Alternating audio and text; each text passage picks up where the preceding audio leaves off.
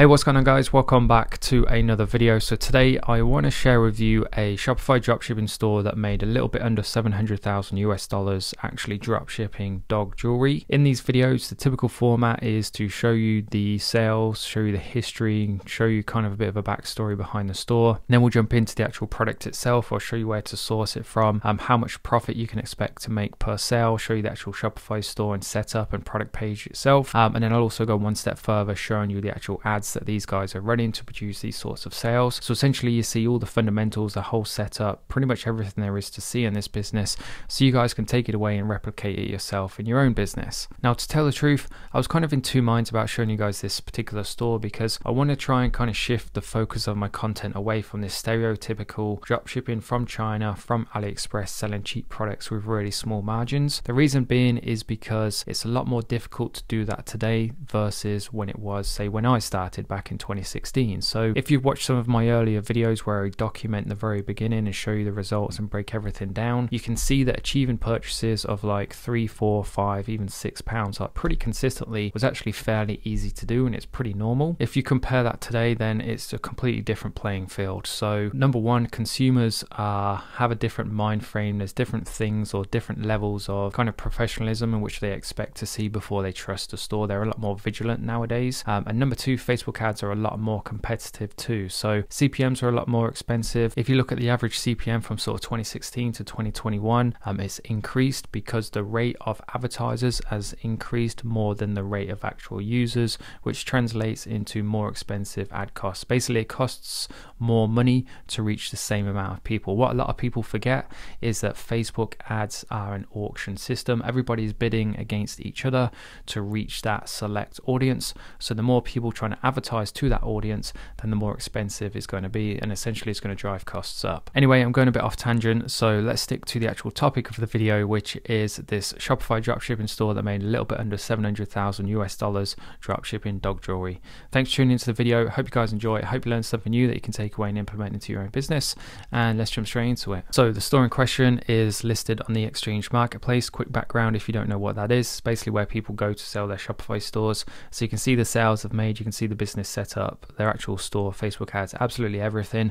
One of my favorite websites to go to for product research. Um, it's called finderdogs.com. We can see it's not a private listing, so we can go straight to their website. And if we scroll down to the numbers, they're verified by Shopify, so it's all legit.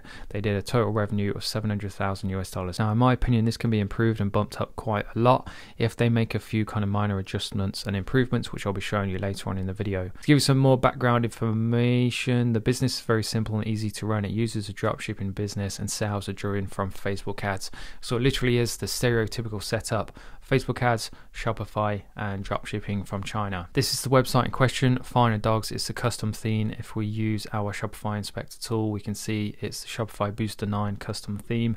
In my opinion, I'm not too keen on this theme, to be honest. I think there's better ones out there. But at the end of the day, they have a nice product. They've targeted the right audience, and that's been reflected in the results that they've had. If we scroll down to the photo, we can see it's not particularly pleasing on the eye. It looks a bit old fashioned in my opinion. So I think for somebody who wanted to invest in this business, business or replicate it, go for a more modern theme with a kind of traditional layout, and I think that could improve the results. Using our Shopify Inspector tool, then let's take a look at their best selling products. So we go to products, best sellers, and we see their best selling product is in fact this limited edition pure silver. I doubt it's pure silver. It might be. I might be mistaken.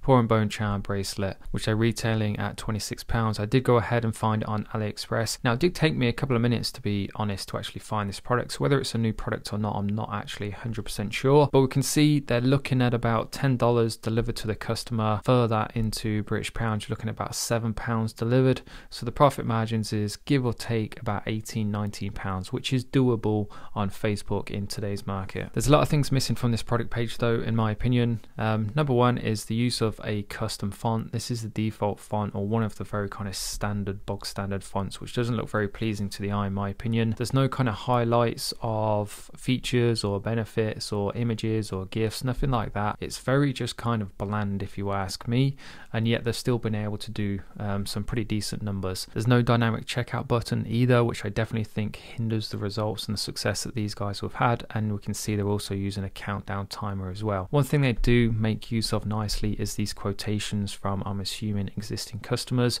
Social proof, social proof is such a massive thing, regardless of what product you're selling. It's definitely something you need to implement and build on as much as possible for your own products and own stores. Something else worth mentioning too, not to be underestimated, is their mailing list. They have 17,000 subscribers on their mailing list. This is definitely something that is worth a lot of money in itself um, especially for somebody looking to invest in a business that is already selling dog products, you'll be able to produce a pretty healthy kind of turnover every month purely from a mailing list of 17,000 people. Let's take a look at their Facebook page too. Again, not to be underestimated, you need to make sure your Facebook pages are up to scratch, you've produced some content, um, and essentially everything just kind of looks in the right place, and you come across as a legitimate business with the proper links and the proper support emails. If we take a look at the kind of content they're posting, we can see it's all really relevant and it's all kind of like of a high spirited nature type of content to encourage engagement because when people come onto a Facebook page, they want to see that they're not the first initial ones. People like to follow other people, so you need to make sure that what you're posting gets as much engagement as possible, as much social proof as possible, and then people will feel at ease with trusting you. So we can see again a nice funny picture, um, 20 reactions, which is pretty good to be honest for an organic post um, on a Facebook page. 40 reactions, 10 reactions, 32 reactions, 165 reactions. So all the content they're kind of posting is reposted, but it's funny, high spirited content that people like to see. And again, it just gives people a reason to actually like the page, follow the page, and then they're more likely to come across your products. And of course, you can use that information, that list of people to actually retarget on Facebook. Last but not least, then let's take a look at their Facebook ad that produced the results for their best selling product. And this is it here. So it's very simple, actually, very to the point starts off with quotations of people talking about the actual product, whether they're real or not. I'd have no idea, to be honest. One thing I will say is the names and kind of like the quotations and words used are very kind of tailored towards the ideal market for particular products like this. So, as somebody who has experience selling dog jewelry on Facebook, I can tell you right now for certain that somebody, the person most attracted or most likely to buy this would probably be in their late 40s or 50s and female. And this is reflected in the comments from their customers. So, Julie, Caroline, my husband gave me this for my anniversary, got this, love it, don't take it off. So, it's definitely everything is kind of wrapped up into kind of targeting um, that ideal kind of demographic of customer. So, before we end the video, just a quick recap then and kind of key takeaways that you guys can use for your own businesses. This business does on average about $12,000 per month and it takes the owner approximately seven hours per week, so not a lot of time. You could quite easily run two or three businesses of this particular size.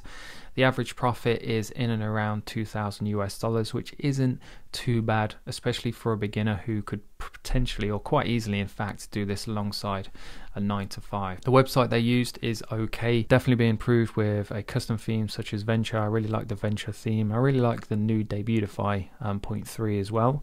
Um, so definitely check those out if you're thinking about doing something like this. Product page itself is okay, but again, could definitely be improved in my opinion, going over the points I mentioned earlier in the video could definitely improve the conversion rate of this particular store and in turn increase the profitability. The Facebook ad itself, again, it works it's proven to work but could definitely be improved. Where i would improve an ad for this particular product myself is i would go to tiktok try and find some small time influencers young people um, send it out. It's going to be super cheap. To send a bracelet out to them get them to record some content for you and try it on tiktok. Tiktok is such a fresh platform right now. I think products like this could potentially do really really well. The other place i would go to as well is actually go to fiverr try and find a actor um, somebody who does product reviews for a living um, in the age range of say 50 plus female again send this out to them and get them to record a quick 10 15 second video of unboxing it and just talking about how sparkly it is and how much of a nice product it actually makes. And I definitely think with those improvements that you could increase the success of your store and have yourself quite a nice little business that just kind of ticks along doesn't take much time each week to kind of maintain and just makes a nice little side income. And with that being said then guys I think that pretty much covers all aspects of this particular business. Um, if you're still watching the video, thank you very much. I really do appreciate all the support on these videos. Um, I hope you enjoyed it. I hope more importantly, you actually learned something new that you can take away and implement into your own businesses. And one final quick message then before you go, if you are looking for a program which will take you from essentially starting from scratch day one all the way up to having a fully fledged and functioning business, covers absolutely everything you need to do in between. Um, make sure you check out my Ecom Academy. There'll be a video link in the description below. Thanks again for watching. I'll see you in the next one.